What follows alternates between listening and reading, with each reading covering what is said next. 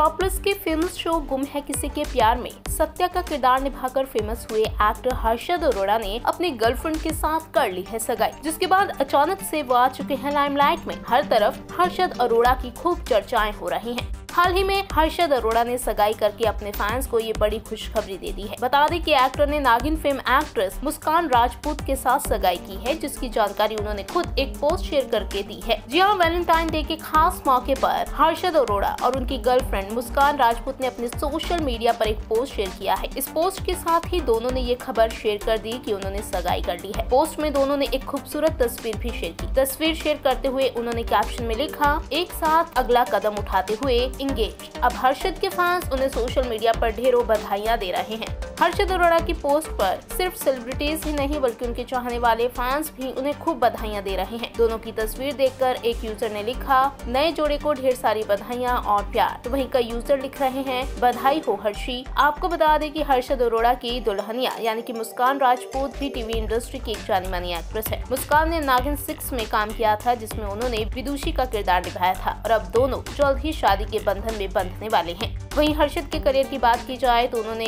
Television कई shows में काम किया है, लेकिन उन्हें आखिरी बार। स्टार प्लस के शो गुम है किसी के प्यार में शो में डॉक्टर सत्या के किरदार में देखा गया था, जो सई के ऑपोजिट नज़र आए थे। इस शो में उनकी और आयशा सिंह की जोड़ी लोगों को काफ़ी पसंद आई थी। हालाँकि, एक वक्त के बाद सत्या की किरदार की एग्जिट हो गई थी और लोग उन्हें तभी से स्क्रीन पर काफ़ी मिस कर रहे हैं। लेकिन अब, अचानक से अपनी सगाई की खबरों की वजह से हर्षद अरोड़ा लाइमलाइट में बने हुए हैं और अब उनकी शादी का इंतज़ार उनके चाहने वाले कर रहे हैं।